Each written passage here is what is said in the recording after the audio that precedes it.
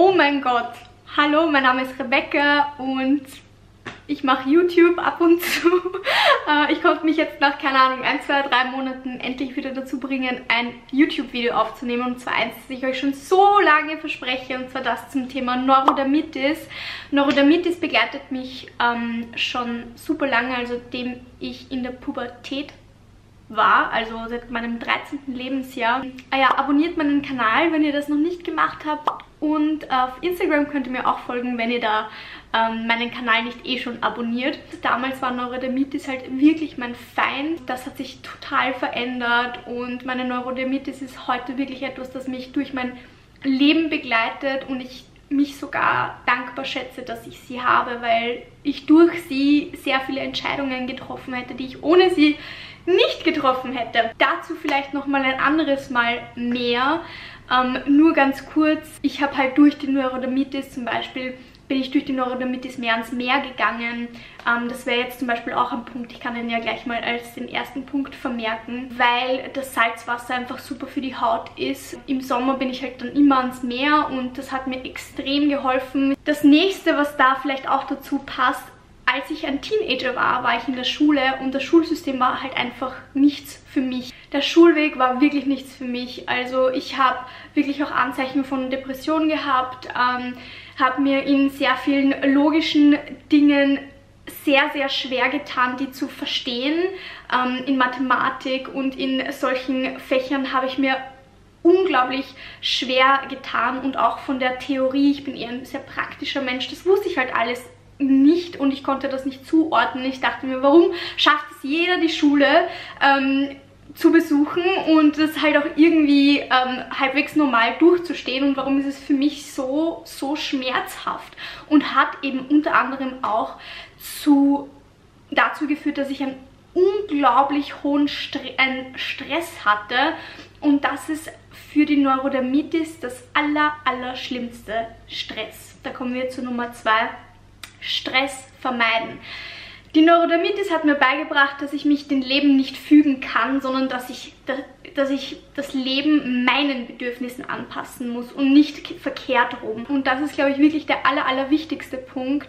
Schaut, dass ihr Stress so viel wie es halt eben möglich ist, vermeidet. Und ähm, Stress ist etwas, was wir uns ja auch viel selbst machen. Natürlich, es gibt Dinge, für die sind wir nicht gemacht. Ich bin zum Beispiel, ich weiß jetzt auch, dass ich eher ein langsames Leben bevorzuge, dass ich mich auch langsamer fortbewege als andere, dass ich mehr Zeit für Dinge brauche. Ähm, das war auch eine wichtige Erkenntnis für mich. Ja, dass ihr einfach in eurem eigenen Tempo geht, aber vor allem, dass ihr in dem Tempo geht, das ähm, für euch Stress vermeidet. Genau, also schaut, dass ihr euer Leben einfach euren Bedürfnissen anpasst. Natürlich ist das leicht gesagt, bei mir war das ein jahrelanger Prozess, also fast zehn Jahre hat das Ganze gedauert, bis sich das jetzt eingebürgert hat und ich jetzt ähm, beruflich das tue, was ich liebe, nämlich das hier, ähm, das ist nicht von heute auf morgen passiert und war ein sehr, sehr, sehr, ja, steiniger Weg, aber es hat sich gelohnt und es hat geklappt und ähm, ich bin super, super zufrieden. Als drittes möchte ich euch was zum Thema Waschmittel sagen. Das ist etwas sehr äh, Simples, das man umsetzen kann. Es ist wichtig, dass du keine ähm, Waschmittel verwendest, die Parfum oder Duftstoffe drinnen haben. Manchmal heißt es auch Fragrance. Ähm, bei Fragrance muss man dann wieder schauen, ob das nur ätherische Öle sind, weil manche ätherische Öle, das ist bei jedem Menschen mit Neurodermitis ein bisschen anders, welche, äh, welche ätherischen Öle für dich in Ordnung sind und welche nicht. Ähm, das musst du austesten. Es gibt auch DIYs wie mit Soda oder ein anderes DIY mit Efeu ähm, in eine Socke geben, glaube ich, und damit waschen. Äh, meine Mama hat damals Waschnüsse verwendet. Die sind aber nicht so nachhaltig, weil die aus Indien sind und ähm, wir es somit den Leuten vor Ort schwierig machen, an Waschnüsse dran zu kommen, weil die einfach teurer werden und unleistbar für die Einheimischen. Also die nachhaltigere Variante wäre hier Kastanien, die wir hier auch haben, die man sammeln gehen kann und dann kann man die schälen und für weiße Wäsche verwenden oder einfach ähm, so im Ganzen ähm, ohne sie zu schälen für Buntwäsche und so. Aber da könnt ihr auch Rezepte einfach googeln, gibt es unendlich viele. Also wenn du keine DIYs magst, sagst, äh, mag ich nicht, kann man schauen nach Babywaschmittel. Genau, die sind meistens auch hautfreundlich, wobei man auch da schauen muss. Viertens, ähm, schau, dass du hautfreundliche Material Materialien trägst, also dass du nicht so viele synthetische Stoffe an dich ranlässt, dass du viel Bio-Baumwolle trägst, dass du Leinen trägst, dass du nicht nur Sachen trägst, die richtig eng sind, vor allem wenn es synthetische Stoffe sind. Schau, dass du deine Haut atmen lässt. Auch wenn du zu Hause bist, vielleicht, dass du auch ein bisschen nackt herumgehst, wenn das für, dich in Ordnung ist, sich gut anfühlt oder deine Umgebung, äh, deine Umgebung das zulässt. Oder eben ähm, lockere Sachen öfter mal äh, trägst. Schau, dass du dich die ganze Zeit eincremst. Also, dass du das Problem halt sozusagen auch an der Wurzel packst. Natürlich muss man auch schauen, was man in seinen Körper reintut, dazu kommen wir noch, aber auch was du auf deine Haut tust. Keine Parfums und ähm, bei welchem Punkt war ich denn jetzt überhaupt? Beim Eincremen. Ähm, und zwar schau, dass du natürliche Produkte verwendest, die eine hohe Qualität haben, ähm, eine hohe Bioverfügbarkeit. Benutze zum Beispiel viel Akara, ähm, Jungglück, ähm, was habe ich denn noch? Veleda, äh, reine Shea-Butter, die ich mir zusammenmische. Also ich habe auch ein DIY. Da habe ich ein, ein Video, das werde ich euch markieren. Ähm, das sehr viel ähm, Dings, äh, sehr viel Feuchtigkeit spendet. Schaut, dass ihr das, dass ihr weg vom Cortison kommt. Ich war früher so Cortison-abhängig, weil ich einfach so viele blutige Stellen hatte.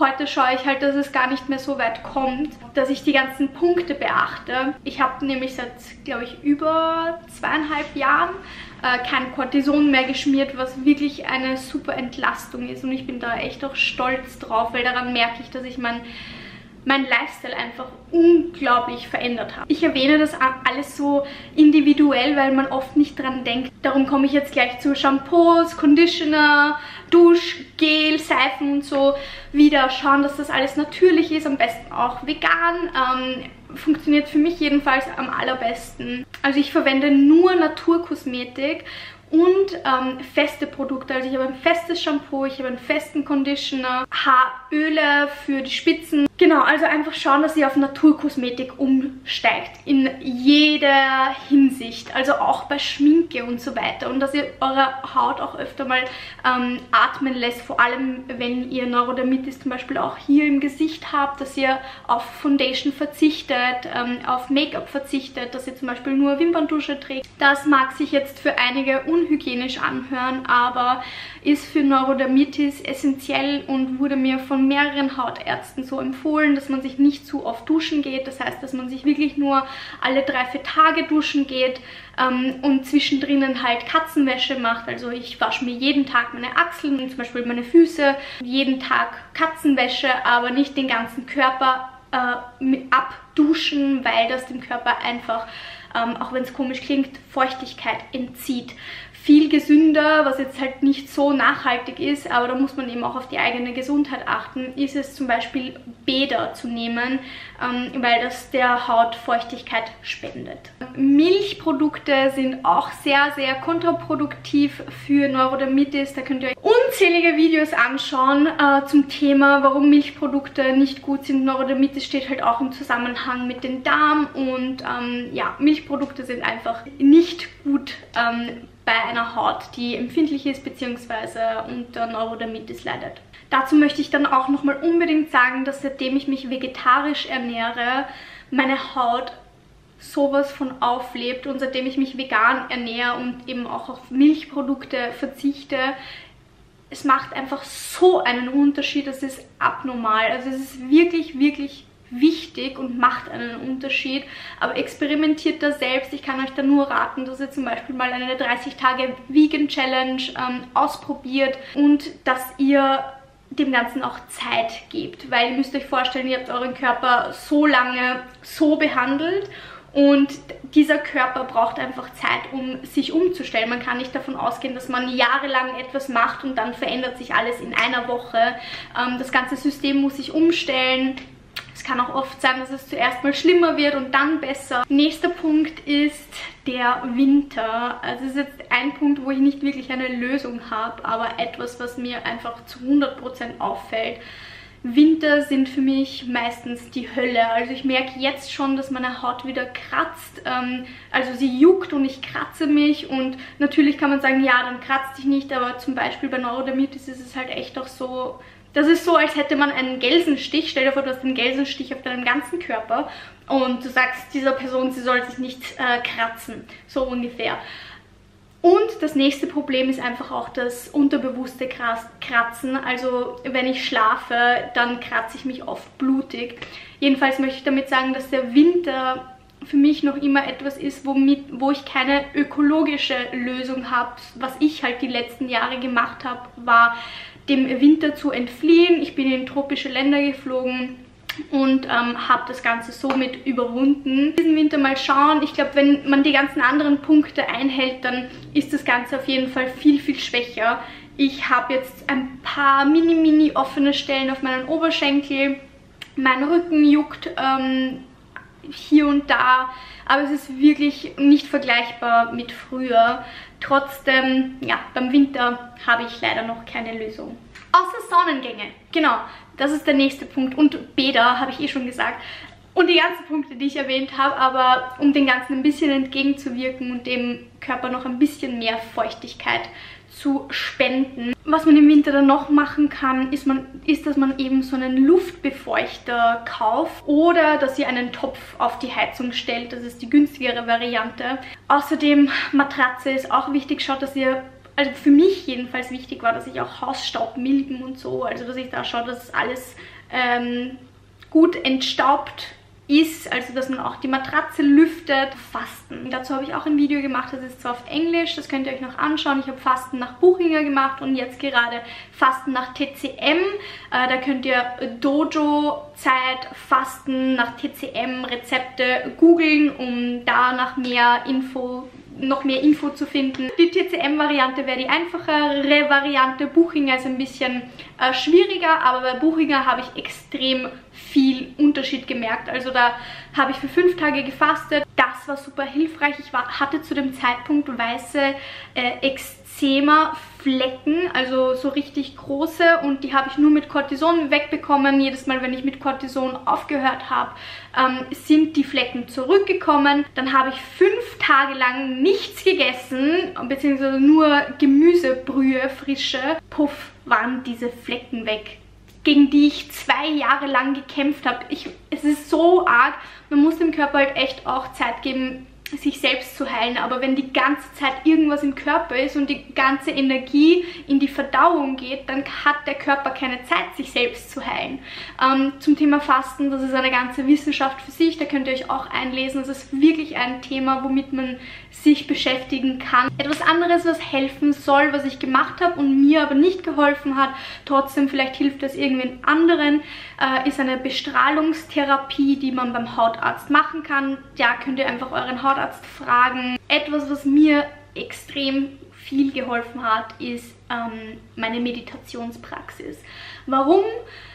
Ganz einfach, es ist bewiesen, dass Meditation hat einfach etliche Vorteile, aber es ist einfach auch super, super, super ähm, stressreduzierend. Hat mir einfach enorm geholfen, einen inneren Frieden zu kultivieren und das ist halt super wichtig, wenn man nicht zu viel Stress haben will. Um das Ganze nachhaltig zu machen, ist es natürlich wichtig, dass man äh, eine regelmäßige Meditationspraxis hat. Der nächste Punkt wäre Yoga. Wie könnte es auch anders sein? Also wenn ihr mir auf Instagram folgt, dann wisst ihr auch, dass Yoga für mich eine sehr, sehr heilsame Praxis ist. Warum? Einfach weil es die aktivere Form vom Stressabbau ist und man schüttet Glückshormone aus. Natürlich jede Form von Bewegung, auch Tanzen. Das Besondere an Yoga ist es aber, dass man sich eben auch auf seinen Atem fokussiert.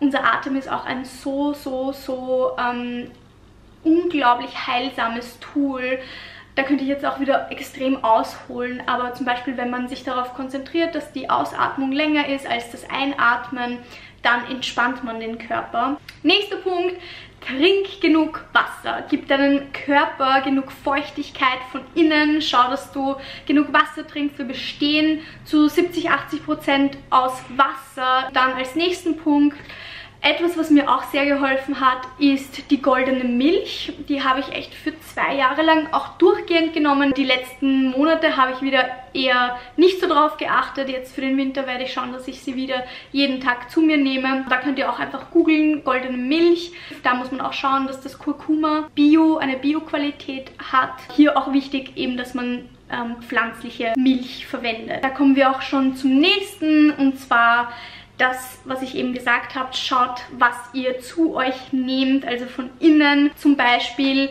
dass ihr schaut, dass ihr so gut es geht Bioprodukte kauft, damit ihr nicht diese ganzen Pestizide ähm, in euch reintut und Chemikalien, die auf ähm, Gemüse und auf andere Sachen gesprüht werden. Also ich ernähre mich gut, also ich schaue, dass ich Bioprodukte kaufe.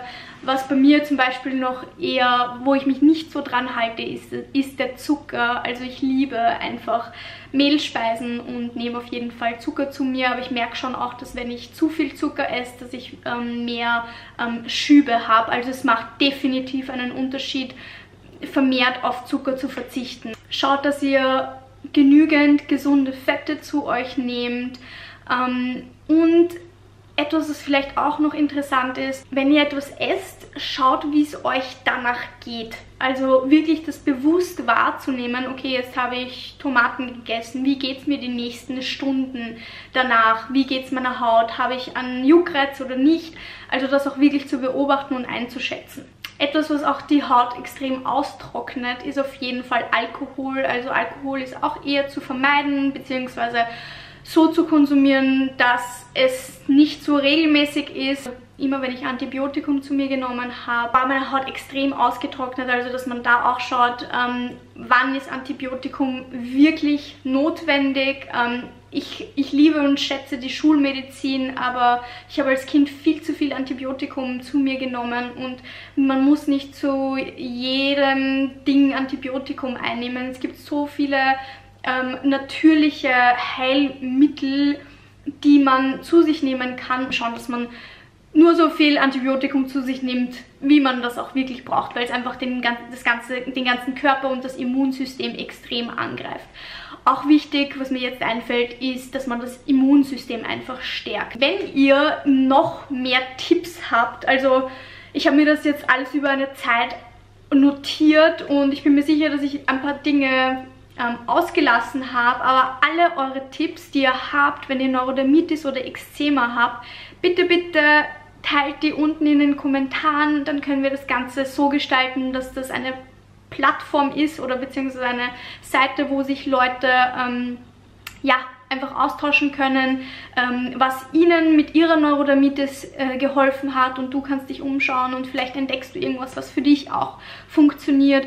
Setz dich nicht unter Stress, versuche nicht alles auf einmal umzusetzen. Die ganzen Dinge, die ich aufgezählt habe, lebe ich inzwischen schon, außer den Zucker, also den esse ich noch immer sehr gerne und oft.